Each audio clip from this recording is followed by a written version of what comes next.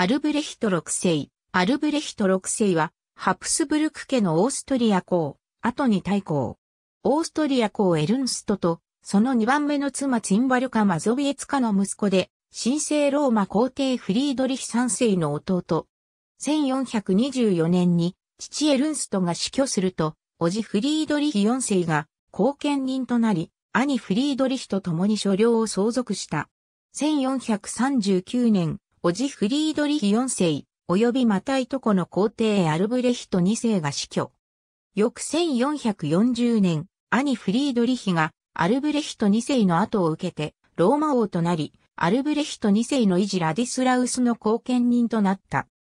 1452年に皇帝位についた兄フリードリヒは1457年にラディスラウスが死去すると、ラディスラウスの医療であるニーダー・エスターライヒの領有権を主張し、アルブレヒトはこれに反対した。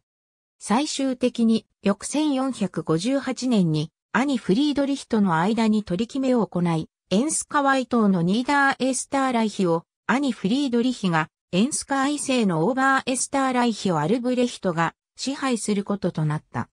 野心家であったアルブレヒトは1461年6月にニーダーエスターライヒに進軍し、さらに1463年には兄フリードリヒ3世が不在の間にウィーンで暴動を起こさせ、兄のヒエレオノーレと、甥、い、マクシミリアンを幽閉した。そして急遽帰還したフリードリヒ三世を城内に入れずに追い払った。しかしほどなく、アルブレヒト六世は死去し、フリードリヒ三世はウィーンへ戻ることができた。